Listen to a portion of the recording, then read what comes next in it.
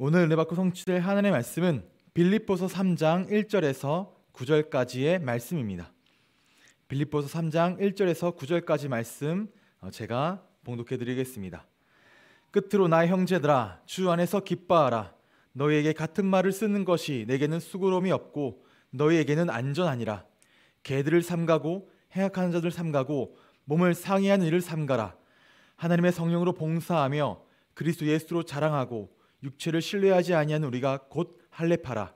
그러나 나도 육체를 신뢰할 만 하며 만일 누구든지 다른 이가 육체를 신뢰할 것인 줄 것이 있는 줄로 생각하면 나는 더욱 그러하리니 나는 8일 만에 할례를 받고 이스라엘 족속이요 베냐민 지파요 히브리인 중에 히브리인이요 율법으로는 바리새인이요 열심으로는 교회를 박해하고 율법의 의로는 흠이 없는 자라. 그러나 무엇이든지 내게 유익하던 것을 내가 그리스도를 위하여 다 해로 여길 뿐더러 또한 모든 것을 해로 여김은 내 주 그리스도 예수를 아는 지식이 가장 고상하기 때문이라 내가 그를 위하여 모든 것을 잃어버리고 배설물로 여김은 그리스도를 얻고 그 안에서 발견되려 함이니 내가 가진 의는 율법에서 난 것이 아니요 오직 그리스도를 믿음으로 말미암은 것이니 곧 믿음으로 하나님께로부터 난 의라. 아멘. 읽어드린 말씀 가지고 내 인생의 절대 가치라는 제목으로 함께 은혜를 나누도록 하겠습니다. 어, 이번 주 주일 말씀 제목이 내 인생의 절대 가치라고 하셨지만 어, 사실 지금 우리가 살아가고 있는 이 시대는 세상에 절대적인 것이 없다. 그리고 정답도 없다라고 말하는 어, 포스트 모더니즘 시대 가운데 우리가 살고 있다라고 할 수 있을 것입니다. 이 포스트 모더니즘이란 어, 상대주의 그리고 해체주의, 탈이념, 탈권위 그러면서 어떤 개인의 다양성, 개인의 자율성을 굉장히 중시하는 것이 이 포스트 모더니즘의 세계관이라 할 수 있을 것인데 뭐 이 포스트 모더니즘이 나온 것도 1970년대 이후, 이기 때문에 굉장히 좀 오래되고 너무나 당연시 되어지는 거죠. 이런 것들은 요새 굉장히 많은 대중문화에서 쉽게 찾아볼 수 있습니다. 일례로 어떤 드라마나 뭐 영화나 문화나 뭐 문학 작품이나 미술 작품에서 기존의 어떤 뻔한 플롯이나 클리셰를 깨버리는 것이 포스트 모더니즘이거든요. 예전 같으면은 뭐 파리의 연인이라고 해야 될까요? 어, 백마탄 왕자와 어떤 뻔한 공주 이야기 이 이야기를 완전히 깨버리는 거죠. 그래서 공주는 공주인데 굉장히 자율적이에요. 자기 인생을 자기가 개척해 나가는 이게 이제 흔한 클리셰를 깨버리는 사랑은 사랑인데 지고지순한 사랑이 아니에요.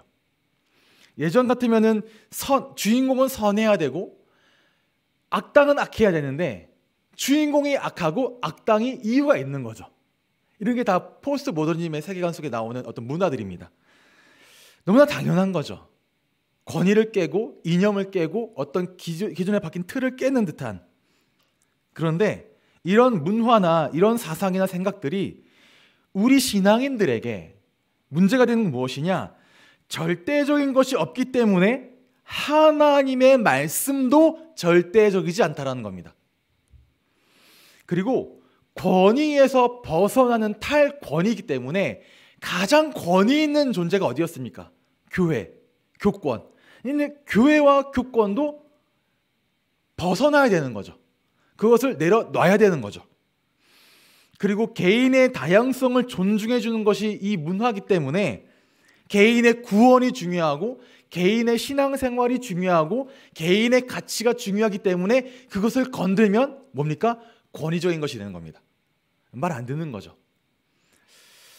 이런 것들이 보여주기 때문에 이런 포스트 모더니즘이 교회로 들어오는 것들을 좀 경계하고 또 주의 깊게 잘 가르쳐야 되는 것이 또 우리 어, 앞선자들의 입장인 것 같습니다. 어, 그런데 더 중요한 무엇이냐? 창세기 3장의 사건도 결국엔 하나님의 말씀에 대한 이 절대성을 굉장히 희석시키고 그 말씀의 권위를 없애버려서 상대화한 사건이 바로 창세기 3장 사건이다. 그리고 이런 사탄의 관계는 지금도 동일하고 지금도 유효하죠. 말 그대로 자기 중심적, 자기 중심적으로 해석해서 자기에게 유익이 없으면 받아들이지 않습니다.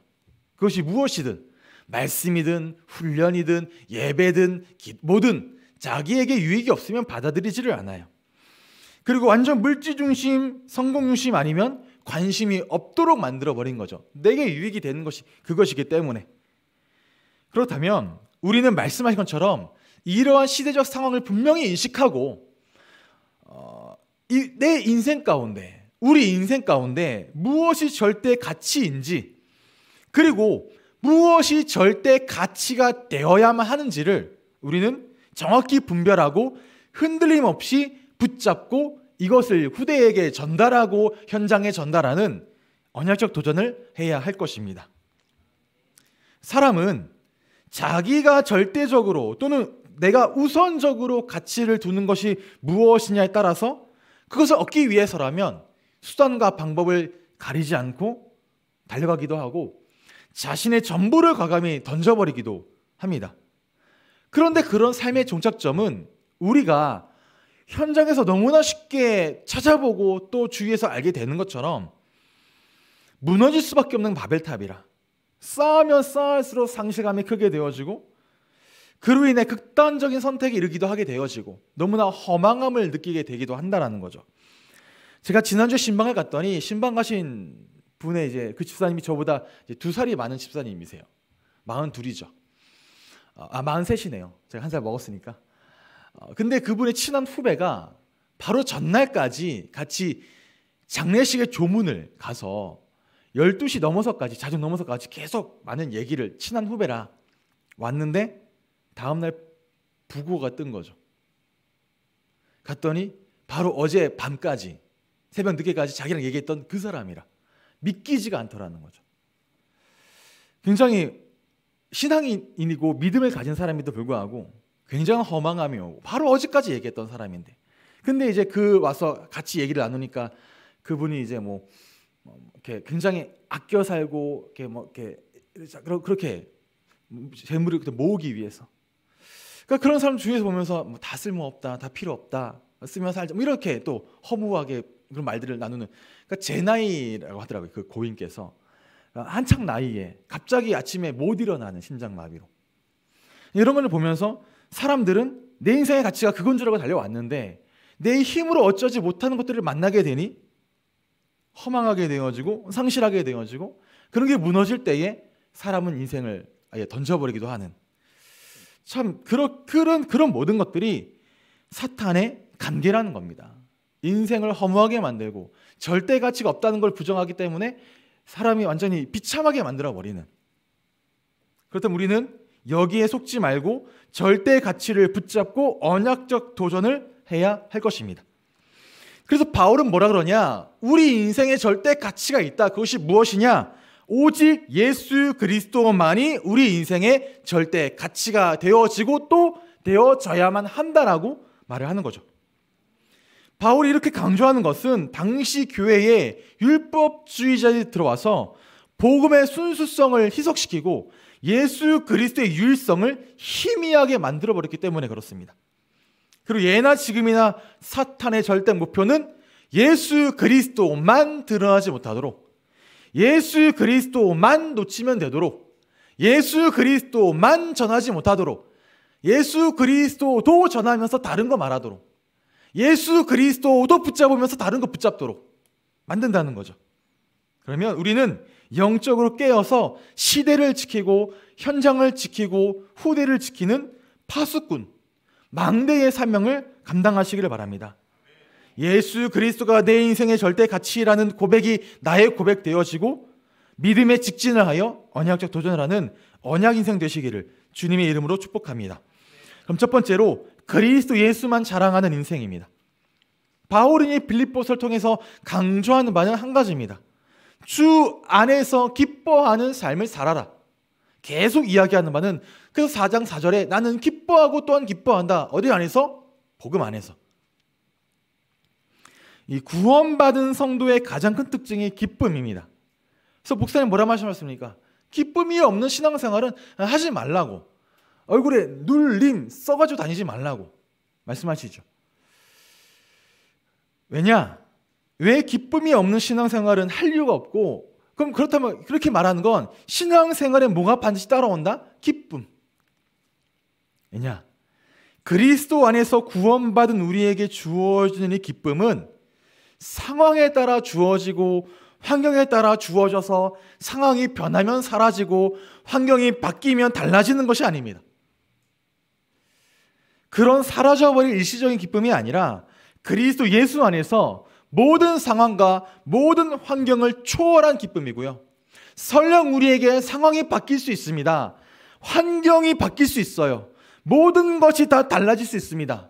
그러나 그리스도 예수 안에 있는 기쁨은 모든 것이 사라져도 항상 지속되고 변하지 않는 기쁨이기 때문에 이 기쁨 누리지 못할 거면 왜 신앙생활 하는 거죠? 그리고 이러한 주 안에서 오는 기쁨이야말로 그리스도인의 영적인 삶만이 아니라 육적인 삶까지 모든 시대와 세상의 혼란으로부터 지켜내는 안전장치가 되어집니다. 바울이 말하는 겁니다. 내가 이런 말을 계속해서 반복하는 것이 내게 전혀 수그럽지 않음은 이런 말을 반복하는 것이 너희에게 안전하기 때문에 라고 말하는 거죠. 그니 뭐 해라? 새겨 들어라. 라고. 기뻐하고 또한 기뻐해라. 라고. 그러면서 이러한 삶을 살기 위해 중요한 것이 삼갈 것을 분별하는 힘. 정확하게 행해야 될 것을 분별하는 힘. 왜냐?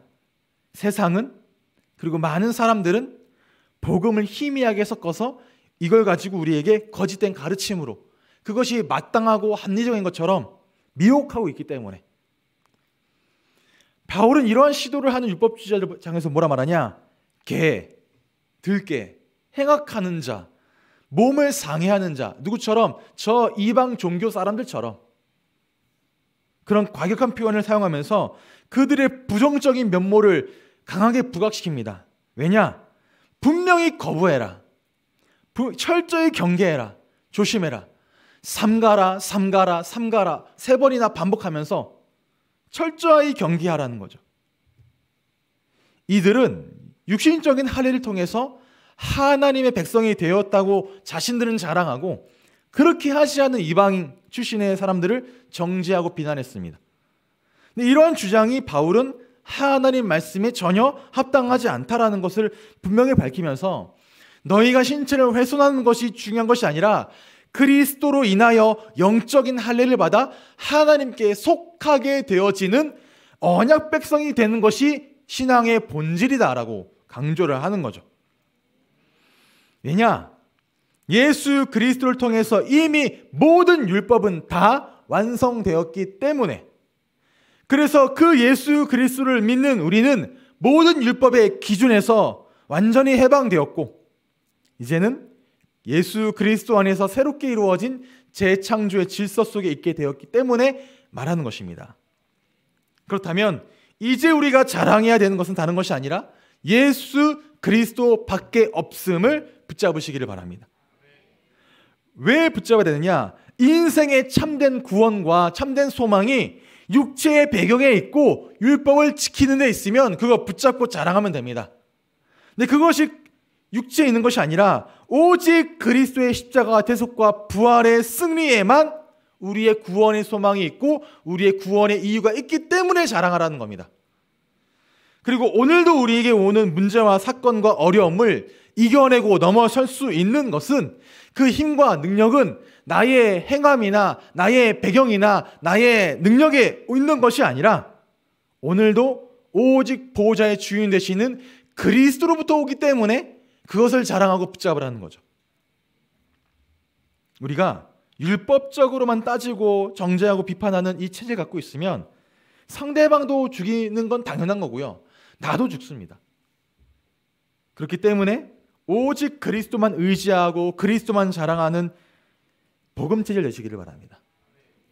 어떻게 할 수 있느냐? 다른 방법 없다 하셨죠. 하나님의 성령을 힘입어 봉사해라.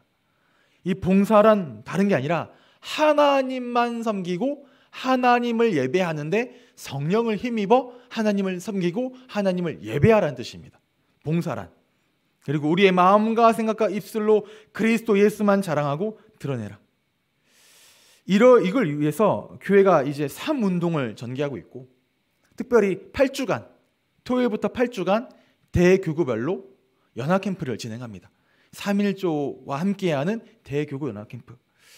특별히 오늘 이제 새벽 기도라 이제 제가 전에 보지 못했던 많은 중지자 피텍 중지자들께서 나오셔서 기도에 집중하고 계시는데 우리 모든 중지자들께서 특별히 8주간 진행되어지는 연합 캠프 가운데 함께 참여하셔서 현장을 회복하고 또 기도를 회복하고 영혼 구원을 회복하게 되어지는 그런 중요한 시간으로 응답받고 인도 받으시기를 바랍니다. 그래서 이 삼운동의 주역으로 다 서게 되셔서 그리스도만 자랑하는 기쁨 인생 되시기를 주님의 이름으로 축복합니다. 두 번째로 오직 그리스도로 결론난 인생입니다. 바울은 이제 자신의 과거와 자신의 배경을 의도적으로 드러냅니다. 그러면서 율법주의자 너희들의 주장처럼 육체의 자랑거리로 구원을 얻을 수 있다면 나는 너네보다 훨씬 더 자랑할 게 많다라는 거예요. 바울의 말대로 바울은 이 유대 율법주의자들의 상대가 되지 않을 만큼 내세울 것이 너무나 많은 사람입니다. 특히 뛰어난 혈통, 그리고 가문의 배경, 뿐만 아니라 자신은 종교적으로도 열심을 다하여 신앙생활을 해왔고 너희와 비교가 안 되게 그리고 율법을 완벽히 추구해 왔던 사람이다. 그런데 자신의 이런 모든 모습과 가치의 기준들이 예수 그리스도를 만난 이후에 그리스도 안에서 배설물로 여겨질 만큼 나의 모든 가치관과 생각이 완전히 바뀌게 됐다라는 거죠. 전에는 그렇게 소중했던 가문의 배경이 그렇게 중요했던 율법적 지식과 열심이 도리어 그리스도 예수 안에서 나에게 손해가 되어지더라. 왜냐? 영적인 진보를 막고 방해하고 복음 전파를 가로막게 되어졌으니까. 그러니 이게 아무런 유익이 없다는 겁니다. 그러면서 그리스도 예수를 아는 지식이 나에게 가장 고상하다. 즉 나에게 가장 가치 있고 나의 모든 지식보다 가장 탁월하며 가장 뛰어나다라고 말을 하는 거죠. 그 그리스도를 얻기 위해서라면 나는 모든 것을 잃어버리고 모든 것을 버려도 전혀 아깝지 않다는 겁니다. 배설을 버리는데 아까운 사람이 있겠습니까? 기꺼이 갖다 버리겠죠. 나의 모든 것을 다 그렇게 갖다 버려도 갖다 버리고 그리스도를 얻으면 나는 괜찮다라는 겁니다. 왜 그렇습니까? 로마서 3장 23절 24절에 모든 사람이 죄를 범하였음에 하나님의 영광에 이르지 못하더니 그리스도 예수 안에 있는 속량으로 말미암아 하나님의 은혜로 값없이 의롭다 하심을 얻은 자 되었느니라. 왜냐? 모든 사람이 하나님을 떠나 죄 가운데 빠져 사탄에게 종로로 타는 가운데 영원한 멸망길을 가며 그 인생이 보여지는 대로 황폐하고 비참한 인생을 살아가고 있는데 그래서 반드시 하나님을 만나야만 그 문제와 고난에서 해방되어질 수 있는데 그 어떤 자랑하는 율법적 행위와 인간적인 배경과 가문의 배경과 혈통의 배경과 자신의 열심으로는 도저히 얻을 수 없는 것이 하나님의 의라. 해봤잖아요, 바울이요. 도저히 이룰 수 없는 것이 하나님의 영광이라. 그런데 그것을 오직 그리스도 예수 안에서 그리스도를 믿음으로 은혜로 얻은 걸 보니 그리스도가 가장 가치 있다라는 거죠. 그리고 그 그리스도 안에 모든 것이 있음을 바울은 발견하였고 그 그리스도와 함께 하나님께서 우리에게 모든 것을 주셨기 때문에 모든 것 버리고 그리스도 얻으면 된다라는 겁니다. 그러니 그 그리스도를 자기 인생의 절대 가치로 붙잡고 그리스도만 붙잡겠다고 하는 오직 그리스도로 결론난 인생. 윌리엄 핸드릭스 이런 고백을 했다 그러죠. 저도 다시 한번 읽어보니까 너무 이렇게 아 너무 가치 있는 말이다. 제가 다시 말씀드리겠습니다. 솟아오르는 태양 앞에서 모든 별이 꼬리를 감추듯이 그리고 크고 값진 진주 앞에서 모든 보석들이 광채를 잃어버리듯이 바울에게 있어서 내주 그리스도 예수와의 깊은 교제 앞에 그 밖의 모든 것은 빛을 잃어버렸다. 아, 너무 멋지죠. 우리 모든 성도들에게 예수님이 이런 존재 되시기를 바랍니다. 예수 그리스도와 교제하고 예수 그리스도의 하나님이 주신 그 가치 있는 삶을 살아가고 십자가의 대속과 부활의 권능을 힘입어 마음껏 복음의 가치를 증거하는 삶. 이런 삶이 된다면 우린 진짜 거칠 것이 없고 부러울 것이 없는 절대 가치 인생이 되어짐을 저는 확신합니다. 여러분께 모든 성도님께서 이 바울처럼 오직 그리스도로 결론 내리고 그리스도만 증거하는 그리스도의 절대 제자가 되시기를 주님의 이름으로 축복합니다. 결론입니다. 제임스 패커 교수가 자신의 저서 하나님을 아는 지식에서 하나님을 아는 지식이 있는 사람은 네 가지가 따르죠. 하나님을 위한 엄청난 열정과 하나님에 대한 위대한 생각과 하나님을 위한 담대한 행동과 하나님 안에서 커다란 만족이 있다. 그리고 이 네 가지는 그리스도 예수가 내 인생의 절대 가치임을 깨달은 자의 삶 속에서 나타나는 동일한 증거다라고 목사님 말씀하셨습니다. 복음을 향한 엄청난 열정을 갖게 되어져서 일심전심 지속하게 되어지고 하나님께서 우리에게 시대적으로 주신 언약 지금 교회 시간표로는 3인 1조 활성화를 통한 삶운동의 주역으로 쓰임받게 되어지는 이 언약이 나의 생각, 나의 언약, 나의 사명으로 붙잡게 되어지고 그러니 이 일을 향해서 담대하게 도전하며 실현해 나갈 때 그때 하나님만 주실 수 있는 절대 만족을 체험하게 되어진다 말씀하셨습니다. 지금 우리 모든 성도님들에게 특별히 또 이 자리에 함께 하신 모든 피택 중직자님들에게 우리 속에 이러한 열정이 언약적 열정이 샘솟아 나게 되어져서 언약적 성취의 축복을 사실적으로 체험하게 되어지는 CVDIP 인생 되어지기를 주님의 이름으로 축복합니다.